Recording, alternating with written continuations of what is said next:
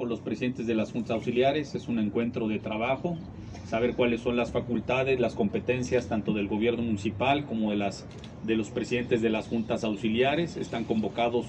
los 17, estaremos exponiendo lo que significa para nosotros las prioridades del gobierno de la ciudad, que implican por supuesto a las juntas auxiliares,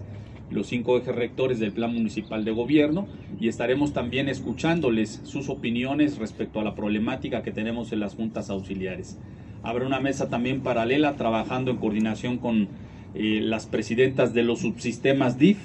el DIF municipal en coordinación con eh, quienes acompañan esposas o parejas de los presidentes auxiliares para poder también hacer un trabajo social.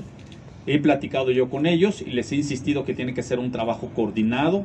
entre el gobierno de la ciudad y los presidentes auxiliares en todos los, en todos los sentidos.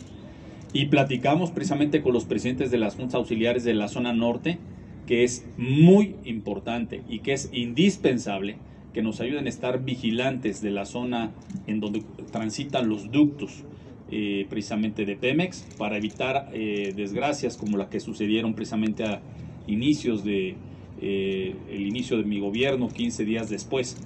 Entonces, este tipo de trabajo lo estaremos realizando de manera coordinada, estaremos escuchándoles e, insisto, estaremos acordando con ellos las acciones que estaremos realizando de manera conjunta el gobierno de la ciudad en coordinación con los presidentes de las juntas auxiliares.